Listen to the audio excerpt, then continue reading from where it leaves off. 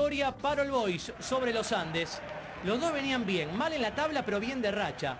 A partir de esta victoria del conjunto de Floresta suma cuatro consecutivas frente a un Los Andes, el equipo de Rabina, que está último en los promedios, ¿no? Tiene que levantar. Armando Panzeri mete el primer tanto derrotando a Cubito Cáceres. Tras el pase de Arriola. El partido a los 7 minutos del primer tiempo. Qué buena maniobra, qué bien pivotea. Arriola estaba 1-0, festejaba Romero. Agente de All Boys.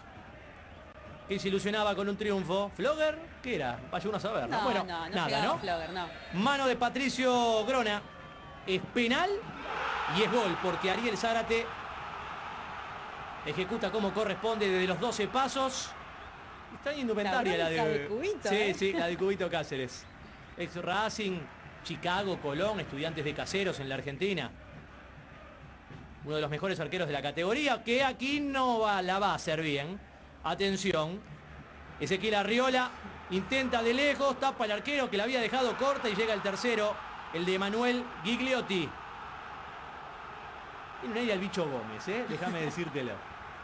3 a 0 para el conjunto local. Fíjense lo del arquero. Queda corto, exige. Es bueno lo que finalmente hace Ezequiel Arriola. El arquero enmienda su error, pero simplemente a medias. Y después llega el tercero, se definía la historia. Cuando arrancaba el segundo tiempo, a los 40, el Beto, el eterno, Alberto Yaque, es el encargado allí de someter a Nico Cambiaso y de descontar tras el desborde de Juan Martín en una jugada iniciada por Gastón Montero, el juvenil que viene de Vélez. El mil rayitas que tendrá que levantar para mantener la categoría.